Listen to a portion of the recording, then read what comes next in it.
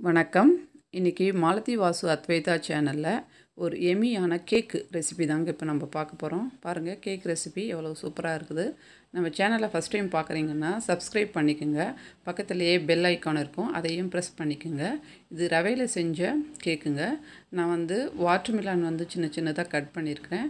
Cut பண்ணி கொஞ்சம் வந்து மாவு வந்து அதில் போட்டு நல்லா வந்து மிக்ஸ் பண்ணிகிட்ருக்குறேன் அந்த மாதிரி பண்ணோம்னா ஒன்றோட ஒன்று ஒட்டாமல் தனித்தனியாக இருக்கும். அதனால தான் நீங்கள் வந்து ட்ரை ஃப்ரூட்ஸ் கூட ஏதாவது இருந்தால் அதையும் வந்து ஆட் பண்ணிக்கலாம். அதுக்கப்புறம் நான் ஒரு கரண்டி ஒரு ஸ்பூன் நிறைய இல்லை ஒரு கரண்டி நிறைய தயிர் எடுத்துகிட்ருக்கிறேன் அப்புறம் அதே மாதிரி சர்க்கரையும் வந்து ரெண்டு ஸ்பூன் ரெண்டு கரண்டி சர்க்கரை எடுத்து ரெண்டுத்தையும் நல்லா வந்து மிக்ஸ் பண்ணணும். நீங்கள் வந்து சுகரை வந்து பவுடர் பண்ணி கூட போட்டுக்கலாம். இல்லை அப்படியே கூட நல்லா மிக்ஸ் ஆகும் சுகர் கொஞ்சம் நல்லா நம்ம மிக்ஸ் பண்ணி விடணும். நல்லா மிக்ஸ் பண்ணி விட்டால் தான் நல்லா வந்து கரையும். நம்ம எவ்வளோக்கு எவ்வளோ மிக்ஸ் பண்ணுறோமோ அவ்வளோக்கு அவ்வளோ நம்மளுக்கு கேக் வந்து நல்லா ஸ்பாஞ்சியாக கிடைக்கும். அதனால் நீங்கள் நல்லா மிக்ஸ் பண்ணுங்கள் அதுக்கப்புறம் ஒரு கரண்டி ஆயில் வந்து விட்டுருக்குறேன். நான் வந்து கோல்டு வின்னர் விட்டுருக்குறேன். நீங்கள் வேறு ஏதாவது ஆயில் கூட வந்து நீங்கள் விட்டுக்கலாம். அதையும் வந்து நல்லா வந்து மிக்ஸ் ஆகணும். நல்லா நம்ம எவ்வளோக்கு எவ்வளோ நல்லா மிக்ஸ் பண்ணுறோமோ நம்மளுக்கு அவ்வளோ நல்லது. அதுக்கப்புறம் ரவை ரவை வந்து ஒரு ஒன்றரை கப்பு ரவையை வந்து நான் போடுறேன். அதையும் போட்டு நல்லா மிக்ஸ் பண்ணணும். அப்புறம் வந்து பேக்கிங் சோடா வந்து ஒரு அரை ஸ்பூன் வந்து நான் போடுறேன். அதுக்கப்புறம் வந்து மாவு ஏதாவது ஒரு மாவு வந்து நீங்கள் வந்து ஆட் பண்ணிக்கலாம். மைதா மாவு இல்லை வந்து அரிசி மாவு அந்த மாதிரி ஏதாவது ஆட் பண்ணிக்கலாம். அதுக்கப்புறம் நல்லா மிக்ஸ் பண்ணி விடணும் இது. நம்ம மிக்ஸ் பண்ண மிக்ஸ் பண்ண தான் நம்மளுக்கு வந்து நல்லா ஸ்பாஞ்சியாக வந்து கிடைக்கும்.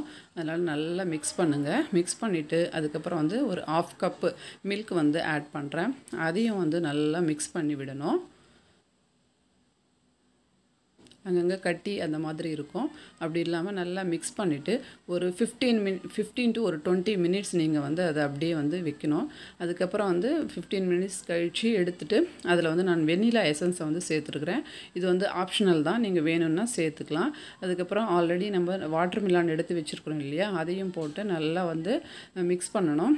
அதுக்கப்புறம் ஒரு பேன் எடுத்து அதில் ஆயிலை வந்து நல்லா க்ரீஸ் பண்ணி வச்சுருக்கிறேன். இதில் தான் நம்ம வந்து கேக் வந்து பேக் பண்ண போகிறோம் அதனால் ஆயில் வந்து மிக்ஸ் ப நல்லா வந்து அந்த இதில் வந்து நல்லா தேய்ச்சி விடணும். அதுக்கப்புறம் ஆல்ரெடி நம்ம சேர்த்து வச்சுருக்குறோம் இல்லையா? அந்த கலையை வந்து இதில் வந்து சேர்த்து நல்லா ஈக்குவல் பண்ணணும்.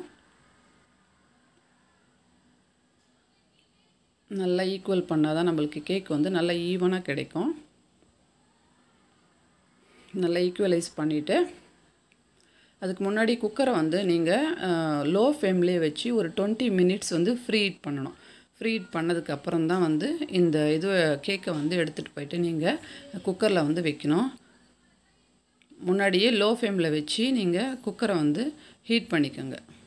அதுக்கப்புறம் வந்து அந்த வாட்டர் மிலான் வந்து நான் தனியாக எடுத்து வச்சுருக்கிறேன். அதை வந்து ஜஸ்ட்டு மேலே வந்து கார்னிஷ்காக நான் போடுறேன். நீங்கள் வந்து ட்ரை ஃப்ரூட்ஸ் கூட ஆட் பண்ணிக்கலாம். இப்போ வந்து குக்கரில் வந்து வச்சாச்சு. வச்சு லிட்டை க்ளோஸ் பண்ணிவிட்டு அது விசில் இருக்கக்கூடாது வாஷரும் இருக்கக்கூடாது. ஜஸ்ட் குக்கர் மட்டும்தான். ஆல்ரெடி ஃப்ரீ ஹீட் பண்ணி வச்சுருக்கிறோம் ஒரு டுவெண்ட்டி மினிட்ஸ் அதுலேயே வந்து ஒரு ஃபிஃப்டி மினிட்ஸ் அதாவது ஃபிஃப்டி மினிட்ஸ் வந்து கிட்டத்தட்ட ஒரு ஒன் ஹவர் வரைக்கும் லோ ஃப்ளேம்லேயே வச்சு நீங்கள் வந்து பேக் பண்ணணும். அப் அதுக்கப்புறம் பாருங்கள் இந்த மாதிரி வந்திருக்கு. நீங்கள் வந்து அதில் வச்சு பார்த்தீங்கன்னா குச்சியில் ஏதாவது வச்சு பார்த்தீங்கன்னா அதில் ஒட்டாமல் வரணும். அதுதான் வந்து இதனுடைய பதம் அது. எடுத்தாச்சு. அதுக்கப்புறம் லைட்டாக சாக் எடுத்து நீங்கள் இந்த ஓரங்கள்லாம் வந்து நல்லா நீங்கள் லைட்டாக வந்து அதுக்கு அழுத்தம் கொடுக்கணும். லைட்டாக அழுத்தம் கொடுத்து கொஞ்சம் ஆறணும். ஆறுனதுக்கப்புறம் தான் லைட்டாக நீங்கள் அழுத்தம் கொடுக்கணும். அழுத்தம் அழுத்தம் கொடுத்து நல்லா தட்டினீங்கன்னா உங்களுக்கு சூப்பரான கேக் வந்து ரெடி ஆகிடும் பாருங்கள் எவ்வளோ சூப்பராக கேக் வந்து நம்மளுக்கு ரெடி ஆகிடுச்சு வீட்லேயே நம்ம செய்து கொடுக்கலாம் பசங்களுக்கு. பாருங்கள் சூப்பராக எவ்வளோ எம்மியாக கேக் வந்து ரெடி ஆகிடுச்சு பாருங்கள் நீங்களும் ட்ரை பண்ணுங்கள் ட்ரை பண்ணிவிட்டு எப்படி வந்திருக்குது அப்படின்றத எனக்கு கமெண்ட்ஸ் கமெண்ட்ஸில் போஸ்ட் பண்ணுங்கள் நல்ல ஸ்பாஞ்சியாக வந்திருக்குதுங்க. டேஸ்ட்டும் வந்து நல்லா இருக்குது உங்களுக்கு எந்த ஷேப்பில் வேணாலும் நீங்கள் கட் பண்ணி எடுத்துக்கலாம். பாருங்கள் எவ்வளோ ஸ்பாஞ்சியாக இருக்குது பாருங்கள் ஓகே ஃப்ரெண்ட்ஸ் நான் இதோட இந்த வீடியோவை முடிச்சுக்கிறேன். தேங்க்யூ